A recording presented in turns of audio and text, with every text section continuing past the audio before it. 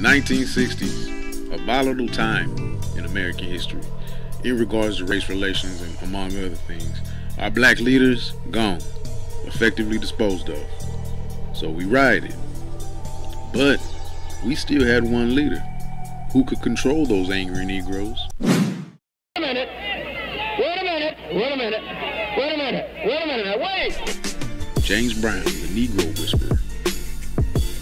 And in 1967, the Negro Whisperer came to San Antonio. But was he able to work his jelly?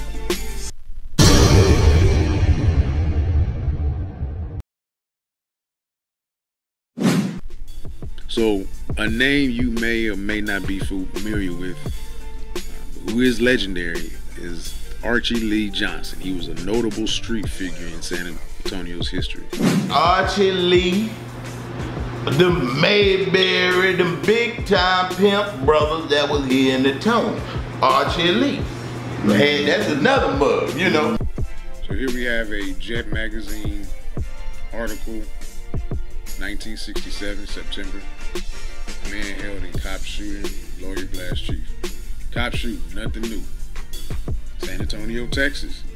Rayford Lee shooting and killing. Rayford Lee, 26, young man. Archie Lee Johnson, 28, young man who surrendered to police.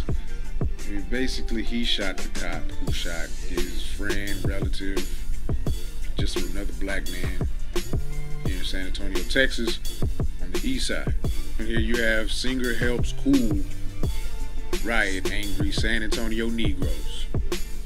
and the shooting death of Rayford Lee, 26. As we said, we referenced that over to the other article from Archie Lee being involved in shooting the cops.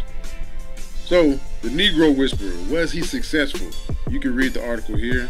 After the dance, Negroes burned down a white owned dry cleaning establishment. So, doesn't look like the Negro Whisperer was all that successful.